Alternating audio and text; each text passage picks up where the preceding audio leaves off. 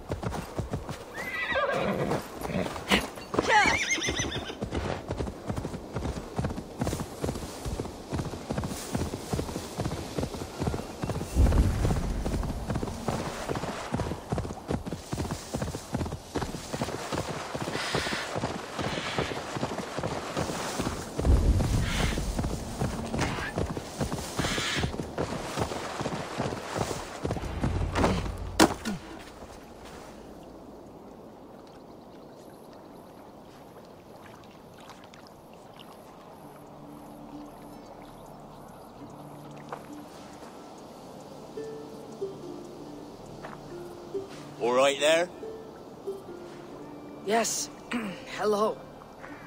I do not mean to intrude, but I'm looking for someone. And who would that be then? I... Uh, I do not know exactly.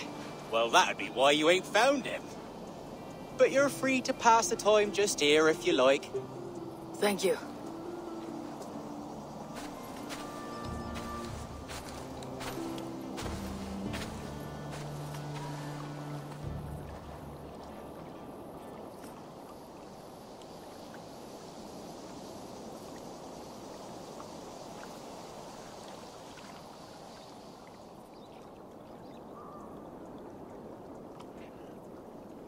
These are soul cakes, love.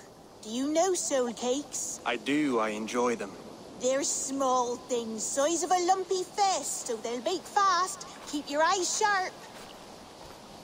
And the butter, do I baste them? No need, love. We'll leave the butter for meal time. I look forward to it. Right then. I'll leave you to this. If you need me, I'll be doing the washing up next door.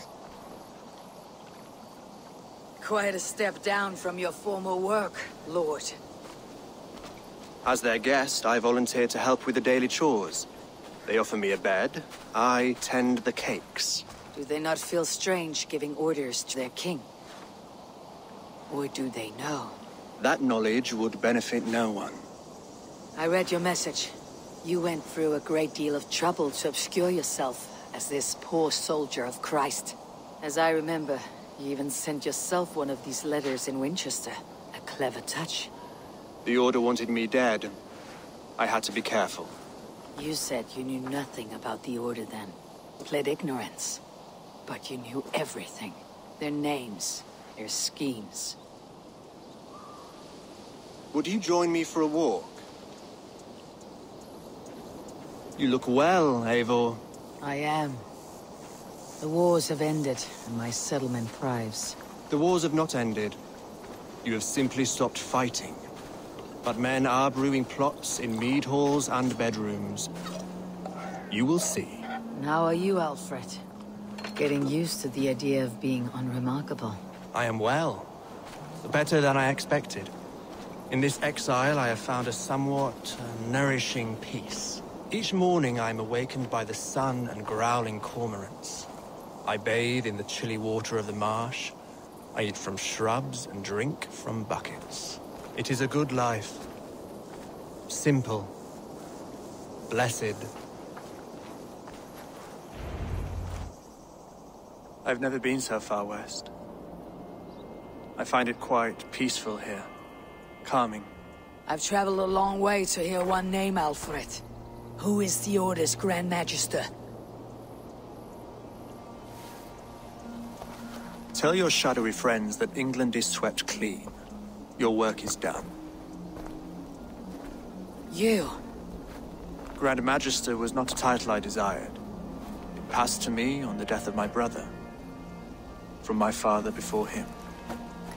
Defilers of God's majesty and grandeur. I was their master, and I loathed them. With Goodwin, I set a plan in motion to destroy the Order from within. But my troubles with the Danes delayed that plan. But your trouble with this Dane is what led to their demise. You are Norse, are you not? You have a good ear. I owe you my thanks, Eivor. For that, I give you this. The key to my study. That you may better understand the good you have done. With the Order all but destroyed, you have made room for a greater idea. One to take its place. A universal divine order, inspired by God for the betterment of man. With a poor fellow soldier at its head. You have saved England. Whether or not that was your intent. Now let England save you. England is no more, Lord. You're the last of her kings, and yet you have no kingdom. Look around you. God's works are wondrous.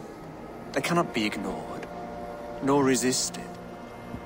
In time, all those who accept God will flourish, and all those who defy him will fall away.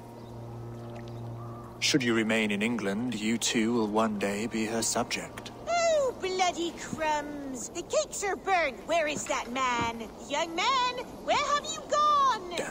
That may have earned me a night of washing linens. I do not know if we shall meet again, Eivor. God willing we will. As one lord to another, perhaps. I'm coming, my lady. I'm here.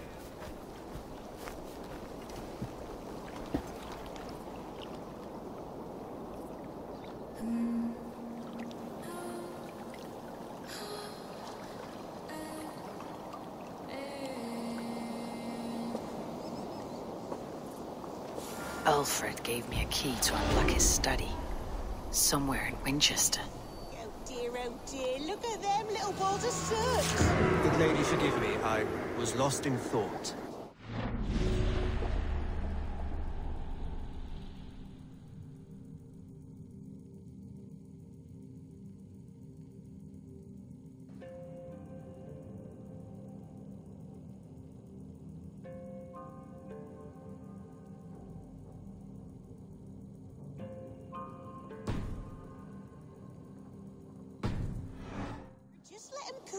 Begin again. Direct me, and I will obey.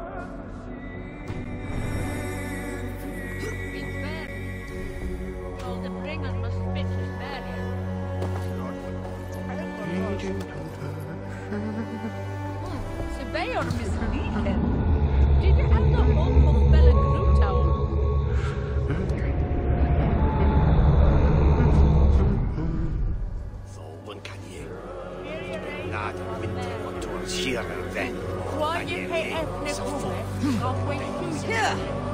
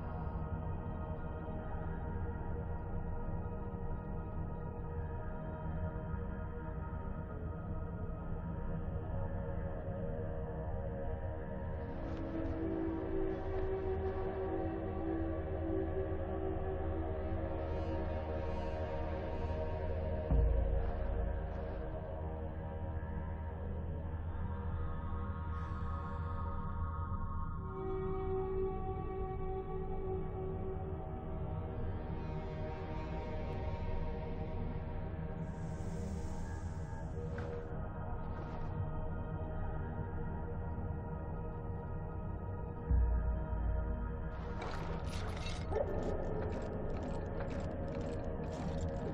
you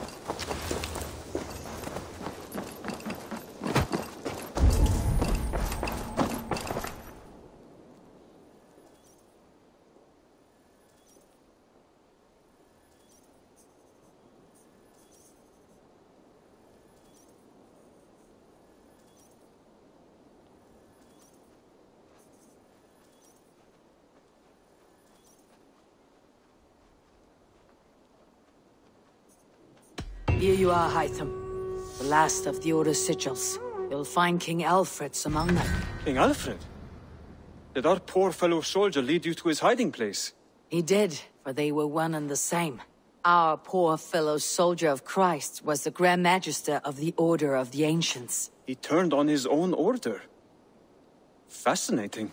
Not turned so much as trampled.